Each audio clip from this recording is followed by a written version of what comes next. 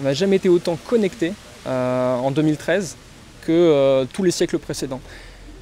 Et ça, ce sont des leviers, ce sont des fenêtres ouvertes sur le monde au quotidien, à chaque instant. Un tweet, une, une, brève sur, sur, un site d'info, une, chronique sur France Info.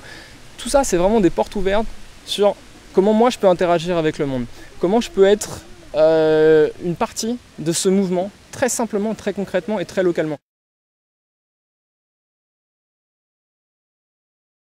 J'ai décidé de créer un site d'information constructive.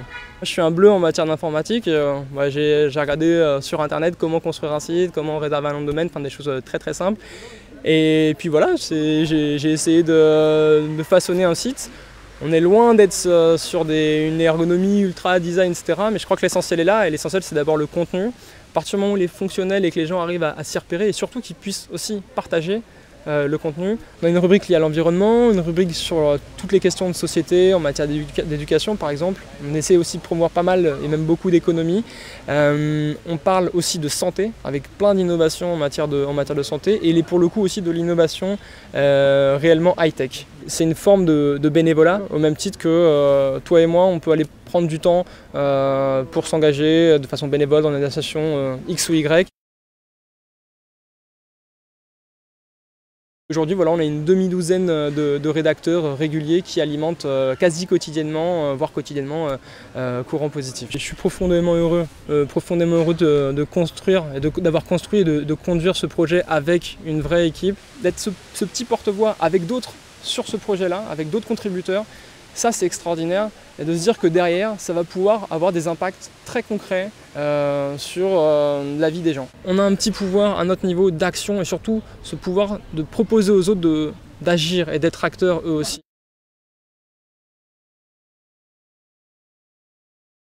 L'exemplarité n'est pas une façon d'influencer, c'est la seule.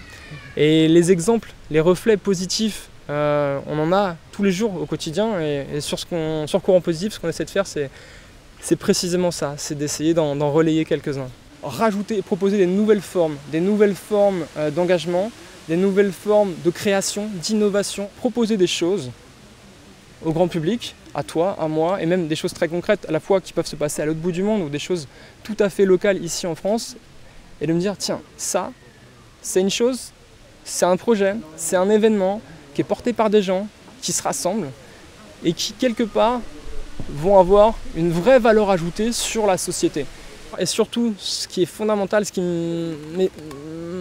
m'enthousiasme beaucoup dans ce projet, c'est de montrer qu'on peut réunir des univers, qu'on n'est pas cloisonné, qu'on n'est pas un, businessman, euh, ça soit un entrepreneur social ou autre, il peut discuter, il y a des terrains, des points de convergence vraiment à, mettre en, avant et à mettre en, lumière auprès des jeunes pour les inciter à entreprendre. Ce qu'on appelle l'empowerment en anglais, ça va être euh, la capacité du lecteur à se sentir acteur, ou en tout cas à pouvoir passer lui-même à l'action et à se dire tiens, ce projet-là en matière environnementale, ce projet-là d'innovation sociale, ça m'intéresse, ça me parle, et moi-même, je peux, à ma manière, de façon locale ou plus ou moins globale, interagir et proposer quelque chose, une déclinaison ou euh, quelque chose de complémentaire.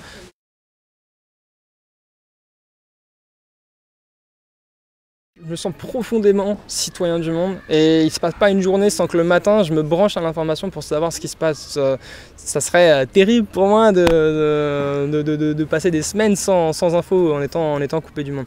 Donc finalement, l'information quand elle vient à toi, tu peux pas tu peux pas euh, ne pas renvoyer quelque chose. Tu es obligé forcément d'avoir une opinion, d'avoir des idées qui germent, qui fourmillent, t'en parles à d'autres gens. Je me suis rendu compte en écoutant, en étant un passionné vraiment d'info, euh, bah, qu'on parlait souvent des choses, euh, pas forcément qui n'étaient pas, pas joyeuses, mais qu'on n'insistait pas suffisamment en tout cas sur, voilà, sur les trains qui arrivent à l'heure, sur les locomotives innovantes et dans, dans les masses médias, vraiment les médias grand public.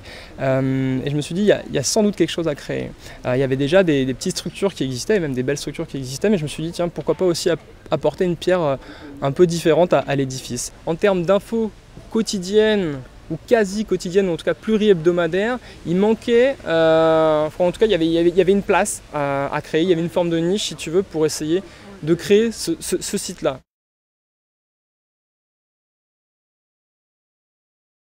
Aux environs de, 2007, euh, j'ai eu l'idée de, en tout cas ça m'est venu, ça a germé dans, mon esprit de créer un site d'information constructive. Euh, j'ai commencé euh, à défricher un peu l'existence, ce qui se faisait, voir s'il y avait d'autres sites qui existaient. Puis donc en 2013, euh, lorsque vraiment j'ai eu envie de passer à l'acte, voilà, pour euh, reprendre le, titre de votre, de votre site, euh, là pour le coup j'ai créé l'architecture, l'ossature, le ventre du site. je l'ai nourri, je l'ai alimenté en, contenu. Le site en lui-même, il a été lancé, il a été créé, ça m'a pris peut-être une dizaine de jours, vraiment pour entre la réservation du nom de domaine, mettre toutes les bannières en place, ce genre de, choses, l'ossature, l'architecture. Vraiment pour le, le néophyte que j'étais, ça m'a pris une dizaine de jours. Et après, le, le travail, ça a été aussi de mettre des premiers articles pour donner euh, une certaine euh, légitimité, si tu veux, euh, au site et inviter après les gens à, nous rejoindre.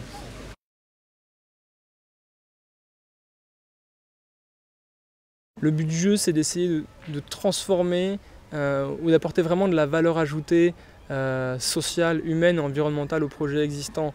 je parlais tout à l'heure de, changement climatique, qui est pour moi l'un des plus gros défis auxquels on est et demain nos enfants seront de plus en plus confrontés, d'apporter, ça c'est un, des chantiers les plus importants, d'apporter cette soif et cet attachement à l'environnement à nos enfants. L'éducation à l'environnement, c'est fondamental. Et ce qui va de pair avec cette éducation à l'environnement, je crois, c'est de réajuster aujourd'hui euh, à travers l'éducation, euh, dans les consciences, le niveau et la place de l'homme par rapport à la société. Que l'homme profondément soit vraiment la fin et une fin, la fin de tous les projets auxquels on, concourt, plutôt qu'un simple moyen. Alors dit comme ça, euh, ça peut paraître très, très bisounours, mais je crois qu'on peut vraiment tous, de façon très locale, y concourir. Et c'est ça, je crois que c'est d'essayer vraiment au quotidien de replacer l'homme en tant que, en tant que finalité euh, première et ultime de tout, de tout projet. Euh, et si on fonctionne comme ça, on fonctionnera forcément en complémentarité et en bonne intelligence. À l'opposé peut-être d'une tendance aujourd'hui euh, qui, nous fait, qui nous fait voir ou en tout cas croire davantage en un épanouissement à travers le matériel, à travers la visibilité, à travers la réussite professionnelle selon certains, certains créneaux, certains canaux, certains presque d'hommes, j'aurais envie de dire. Et, le but du jeu, c'est avant tout d'arriver à, se trouver soi, à se trouver soi et à trouver sa place, sa, place dans le monde. Et je crois que c'est ce qu'il faut surtout qu'on insuffle demain aux nouvelles générations, et sa place en tant que, citoyen du monde, citoyen dans le monde, et en tant que bah, personne humaine aussi, en tant que partie de la nature, si tu veux.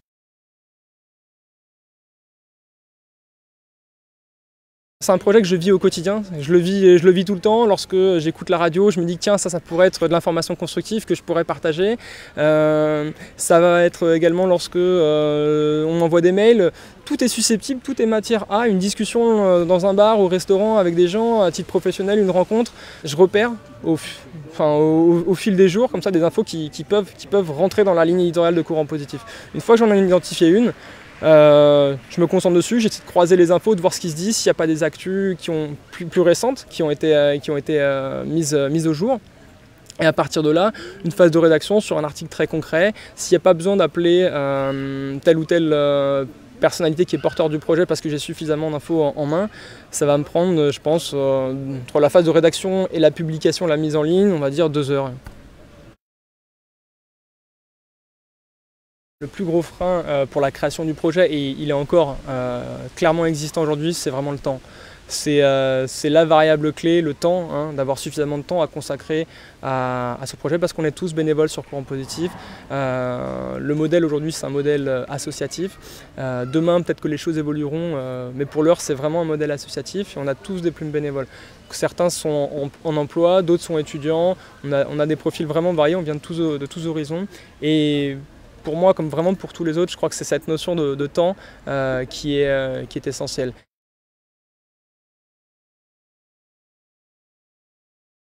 Tout simplement, même si c'est une phrase qui a été répétée dans Yes, we can, yes, you can, on, peut vraiment faire des choses très très simples avec beaucoup d'envie, de la détermination et de l'opiniâtreté. Voilà, avec de l'opiniâtreté. Je prends l'exemple de Zoé Romano, qui est une américaine dont tu as peut-être entendu parler. Elle a 25 ans, Zoé Romano, elle a couru le Tour de France en, course à pied. Pour la première fois au monde, une athlète a couru le Tour de France en course à pied sur le tracé de la centième. Et elle, son leitmotiv, c'est ça, c'est oui, tout est possible. Alors tout est possible, c'est une phrase de bisounours dite comme ça, mais si tu l'appliques vraiment dans ton fort intérieur au quotidien, dès le matin, eh ben ouais, les choses peuvent très très concrètement changer.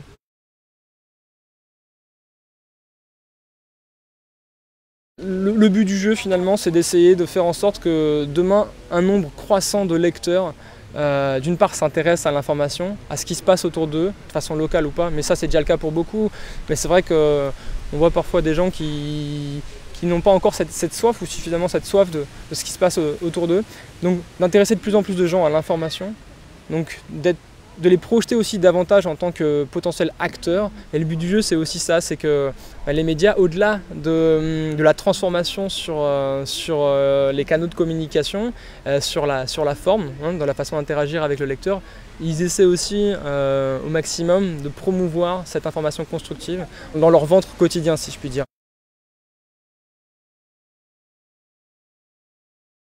Les éoliennes volantes par exemple, c'est un projet extraordinaire que sont en train de, développer différentes boîtes euh, dans le monde et c'est un projet qui euh, euh, qui nourrit beaucoup d'espoir. c'est l'avenir de l'énergie pour moi et, typiquement c'est ce type d'innovation environnementale qu'on promeut sur courant positif, ça va être euh, en matière d'économie, par exemple.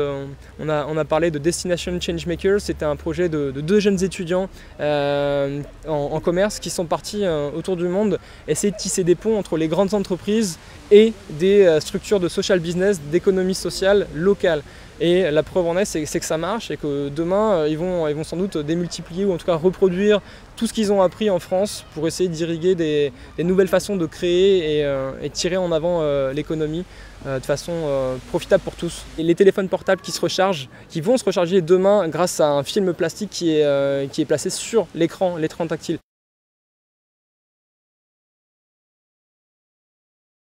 Dans un monde idéal, courant positif n'existerait pas.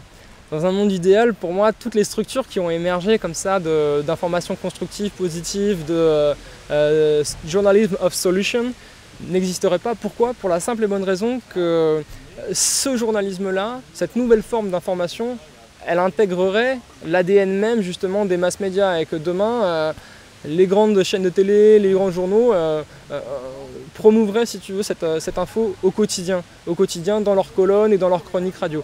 Donc voilà, dans un monde idéal, ça serait, vraiment ça, ça serait finalement euh, la disparition, souhaitée ou pas, j'en sais rien, de, nos structures, mais ça voudrait dire qu'on aura avancé dans le bon sens et que finalement, toutes ces initiatives-là, comme Crampotif et comme d'autres, auront servi finalement à ouvrir une, une voie et à, appeler et inviter les, médias à eux aussi euh, faire œuvre de rénovation.